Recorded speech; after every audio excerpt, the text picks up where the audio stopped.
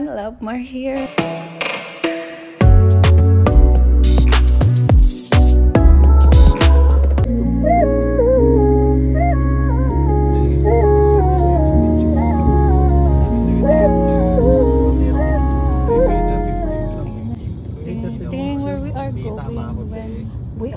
Going to Where we are usually here in Saudi Arabia. night is Saudi, yeah, there is um, party at night.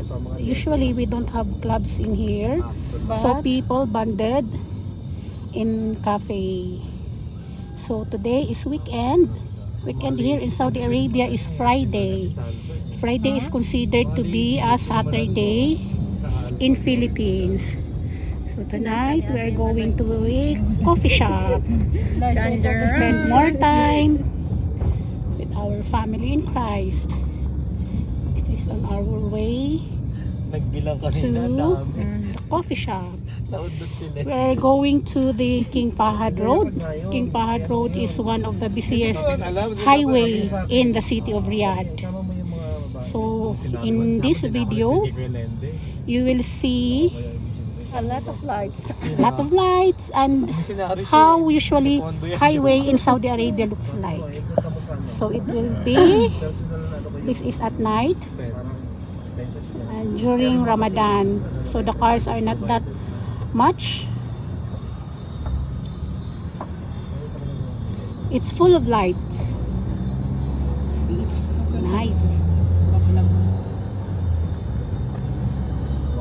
Finally, we made it. Yep. Ah, Kuya Lendel, thank you very much. And Kuya Sander. Yeah. We're about, We're we're about about to make a joke, but what? thank you for Making, Making it serious. to make it real.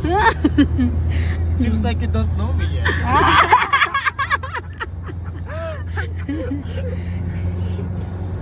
Here.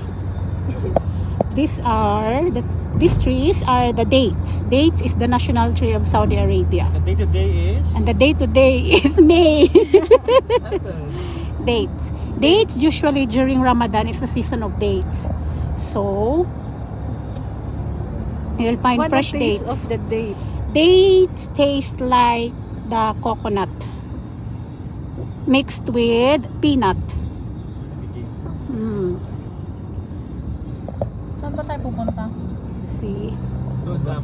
City of lights. the Faisalia. No. Doon kina ano sa Krispy Kreme? Hindi, sa after, sa doctor. Oh, okay. Sa Pahad ba? Mm. Opo. Ano sabi niya? Usually, nights in Saudi Arabia is not boring because of the lights. Ano You will see lights everywhere Ah, and it's very nice. Fahad pala medical. Sure ka King Fahad Road? King Fahad medical. Okay. Malayo King Fahad yun? Dito. Oo, mga susunod din. Kaya nga pala isipan eh. Ito Mabuti na lang nagtanong ako din. Salamat talaga. Aside from coffee shops, Riyadh, there are also lots of restaurants, um, donuts, um, what else? Etnian, etnian. Yeah, people would tend to bond in coffee shops, restaurants. Some are there are also varieties of stores that sells donuts, Arabs are fond of And, having uh, coffee. And then Yeah. chocolates. chocolates. King Fahad or King Fahad Medical? Tapat. Ah, medical. Ah, Okay. medical. Road na kami, border na kami. in Saudi in Saudi Arabia, the restaurants of Saudi Arabia, you will not only see um, restaurants that serve Saudi food. There are varieties of restaurants here in Saudi Arabia, like Turkish. You will also found Indian restaurant, Filipino restaurant, Egyptian restaurant, Armenian restaurant, Chinese, Japanese, Korean. Georgian cuisine. Yeah, you will find variety of food. Yeah, Occasions. yeah. Occasions. Caucasian. Occasions. Ah! So we would like so we would like to erase the notion that being here in Saudi Arabia is a boring life because you will enjoy uh, you will enjoy the different culture of each country by exploring through their food. And aside from, Yeah. mostly Filipinos here were celebrating the the weekend worship trip. And and that that was that was our Goal to invite to invite uh, attendees of restaurants, Mm, restaurant. shops, especially the managers.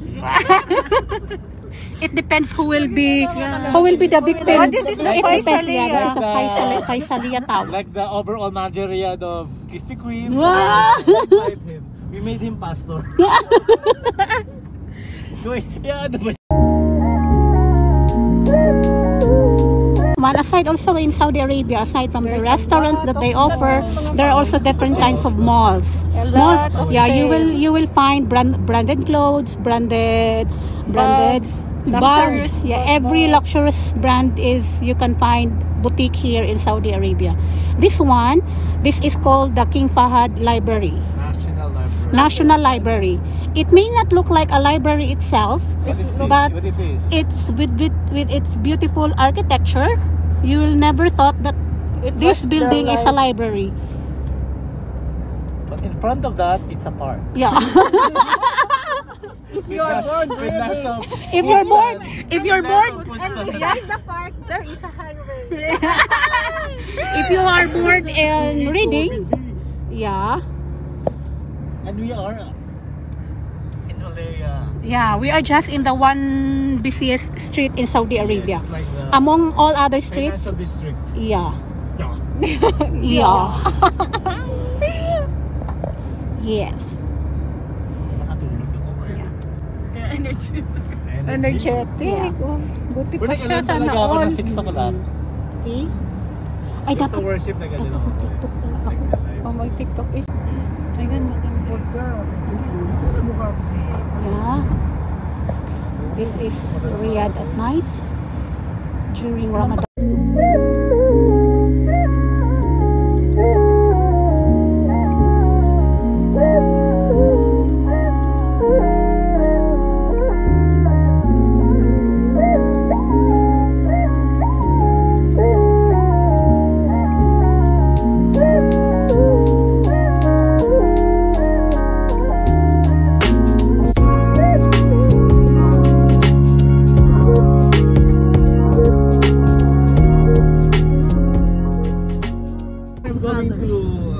Dito sa malaking doctor's case. So we are in our destination. So we're arriving in our destination at about 30 seconds. 30, 29, 28, 27, 26, 25, 24. Oh, let's go down na So let's go down. It's very difficult. We will go up. so we are here at the Doctor's Cafe. Doctor's Cafe, yeah. This is one of the busiest branch of Doctor's Cafe here in Riyadh. Nearby.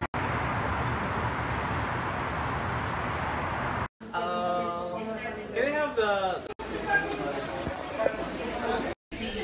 Wala nga asukal. Maganda. Relax. Relax. Parang utang mo rin. Ayan naman, kay kuya. Pastora, di ba? Re- Hindi picture. Relax na relax break. Di ba? Video to. Pag hindi may break, mag-isa isang kayo. Ano? Perfect. Relax. Wala pa kung sa ilong pwede na I feel so awake. I'm Awake. not stressed. Awaken. Wake, awaken. What can you say? Enjoy po ba ang lahat? Um, huwag niyo pong kalimutang mag-subscribe and like sa channel po ni Ate Ann. Hindi na darating eh. Opo. Tatlo. So, Enjoy. Enjoy ka ba? basta naman enjoy po sa channel ni Ate Ann. Yung cake? Love Marie. Salamat sa birthday ni Kuya Sandro sa Hello. Gusto niyo pong intro ko. Well ended. Kuya Sandro. May Sunday kami nag-joke-joke lang naman. Ang com mo, kasi naman ba diyan? Ako yung nakita naman ni Shelo. Tinext niya ako kanina eh. Mami, sino ba? Nag-oily na tayo. Ano nga? Ikaw din nagaganyan. Sayang pag Ako, wow. Ako wala akong polvo talaga. Wala akong nandalang po. As, hindi ka duman sa may police kanina? Hindi ka. How to put polvo?